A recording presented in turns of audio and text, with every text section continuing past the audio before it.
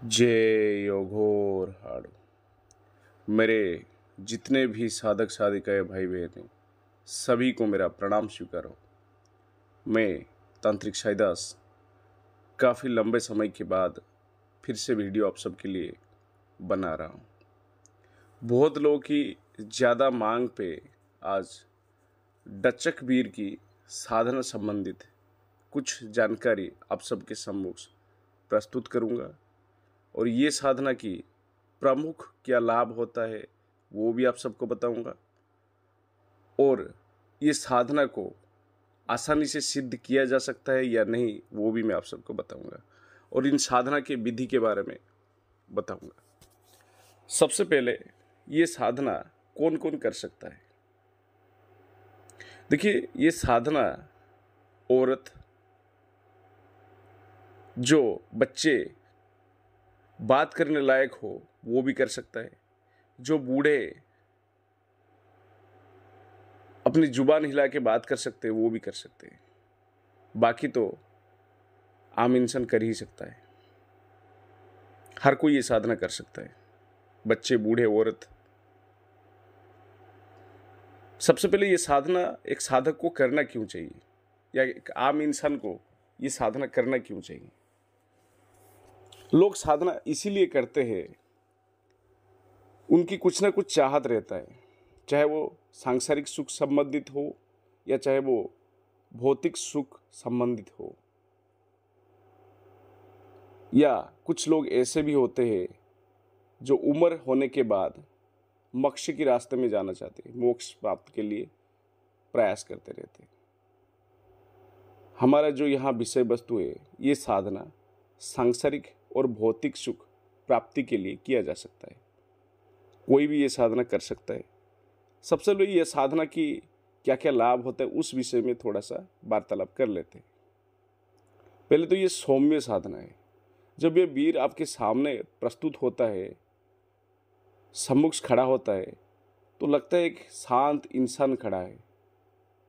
ना कोई शोर शराबा ना कोई ज़्यादा डरावनी आवाज़ ऐसा कुछ भी नहीं होता है ये साधना में। क्यों? ये वीर को एक समय पे श्राप मिला था। किससे? एक यक्षिणी से। ये वीर लोगों की जितनी सेवाएँ करेगा, ये उतनी श्राप से मुक्ति मिलेगा इसको। और इसकी अर्धगति ऊर्ध गति में परिवर्तन होगा। जो इसकी गति नीचे की ओर होता है, वो ऊपर की ओर होगा। फिर इस वीर को उस योनि से मुक्ति मिलेगा। सबसे पहले इसकी जो साधक होते हैं, जो भी वीर की साधना करते हैं, उनको मैं बता देता हूँ, वीर हर तरह के कार्य करने में सक्षम होते हैं। लेकिन हर एक वीर मुख्य तो बावन वीर का ज़िक्र किया जाता है, सनातन हिंदू धर्म में। लेकिन हर एक वीर के पास अलग अलग तरह की शक्तियाँ रहता है और कुछ वीर अलग अलग शक्तियों में महारत हासिल करते हैं और अलग अलग कार्यों में महारत हासिल करते हैं। लेकिन ये वीर एक साधक के लिए, अपने साधक के लिए सटकर्म कर सकता है। सटकर्म क्या होता है? मारण, मोहन, वशीकरण, उच्चाटन, विद्वेषण, स्तंभन, आखिर में शांतिक्रम अपने साधक को ये भी समाज में प्रतिष्ठित दिलाता है। एक प्रतिष्ठित व्यक्ति के रूप में, प्रतिष्ठित इंसान के रूप में ये हमेशा अपने साधक को खड़ा रखता है। धन, धान्य, व्यापार, समृद्धि, सम्मान, इन सब चीज़ों से अपने साधक को हमेशा परिपूर्ण रखता है। सबसे बड़ा खास बात है, ये अपने साधक को चौबीसों घंटा सुरक्षा देता है। कभी भी इनके साधक जो व्यक्ति डचक वीर को सिद्ध कर लेता है, उसके पश्चात किसी भी तरीके के दुर्घटना, किसी भी तरीके का बीमारी नहीं आता है, क्योंकि ये वीर आने ही नहीं देता है। और इनके साधक कोई भी व्यापार करते हैं या व्यापारी हो तो उनके तो लॉटरी लग गया समझ लो, क्योंकि ये दिन दुगनी, चार चौगुनी व्यापार को बढ़ाता रहता है। खास बात यह है, ये साधक गढ़ाधन बताता भी है और निकाल के भी ला के देता है। लेकिन कहीं से पैसा चोरी करके नहीं ला के देता है ये। हाँ कहीं गड़ा हुआ धन है तो वो अपने साधक को बताता है। पैसों की ज़रूरत पड़ने पे अपनी साधक की और वो निकाल के दे भी देता है। खास तौर पे ये साधना, साधक या आम इंसान राज्य सुख प्राप्ति के लिए करते हैं। राज्य सुख प्राप्ति यानी पहले के समय में राज्य राज दरबार होता था, लोग राजा बनने के लिए ऐसे साधनाएँ करते थे। लेकिन आज के समय में, राजनीति में, ऊपर चढ़ने के लिए या राजनीति में, आगे बढ़ते रहने के लिए या समाज में किसी भी पद में पदवी और पाने के लिए ये साधना किया जाता है। चाहे वो आप एमएलए बनना हो एमपी बनना हो या कोई भी पद पाने के लिए ये साधनाएँ करते हैं। डचक बीर साधना। और ये साधक का ऊपरी बाधा भी इलाज करता है और साधक की परिवार सगी संबंधी का भी ऊपरी बाधा इलाज करता है। यानी किसी के ऊपर भूत आ जाना या प्रेत बाधा या कुछ भी हो, वो ये इलाज कर देता है वीर मेरा एक शिष्य जो है, महाराष्ट्र का है, कुछ साल पहले उन्होंने डचक वीर साधना करके एमएलए बने। इसके विषय में मैंने ये वीडियो नहीं, इससे पहले की वीडियो में भी चर्चा किया था, ज़िक्र किया था। खास तौर पे ये राज्य सुख, धन दौलत, समाज में प्रतिष्ठित और ये सुरक्षा प्रदान करने के लिए माहिर होते हैं ये वीर डचक वीर।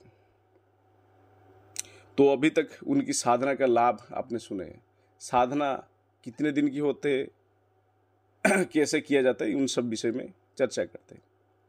ये साधना एक रात्रि की होता है। अमावस्या, पूर्णिमा, नवरात्रि, होली, दिवाली चंद्र ग्रहण के दिन कर सकते हैं। सबसे उत्तम समय होता है चंद्र ग्रहण उसके अलावा आप अमावस्या, पूर्णिमा, नवरात्रि, होली, दिवाली को भी कर सकते हैं। शिवरात्रि को भी ये साधना किया जा सकता है। ये साधना ग्यारह माला जप करने से शक्ति आपके सम्मुख प्रस्तुत होता है एक सौम्य रूप में। इस साधना में संस्कार, संस्कारित काले हकीक की माला का प्रयोग किया जाता है। साधना का समय रात्रि ग्यारह बजे के बाद ही शुरू हो सकता है।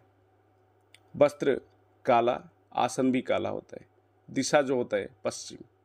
सामग्री, पाँच मिठाई रखना होता है प्लेट में। एक धूपबत्ती जगाना होता है, एक सरसों की तेल की दिया जगाना होता है। एक गुलाब का ताज़ा फूल चाहिए होता है। आप ये साधना सुखासन में भी बैठ के कर सकते हैं या तो चाहे तो आप सीधासन में भी बैठ के कर सकते हैं। मंत्र पूर्ण इसीलिए नहीं बताया जाएगा क्योंकि ये मंत्र कीलित है इस मंत्र को बिना जागृत किए मंत्र जाप करने से कोई लाभ नहीं मिलता है।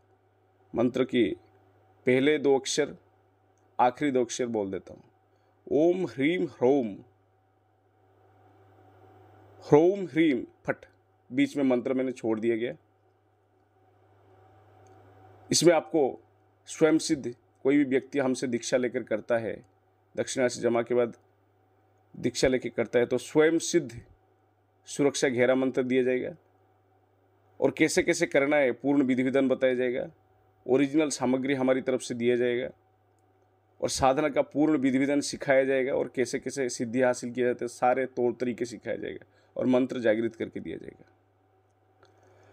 बाकी इस तरीके का साधना, जो पुरातन साधना है, जो गढ़वाली विद्या होते हैं, ज़्यादातर आजकल के समय में मिलता नहीं है। क्योंकि ये पुरातन विद्याओं में से आता है। जय घोरहाड़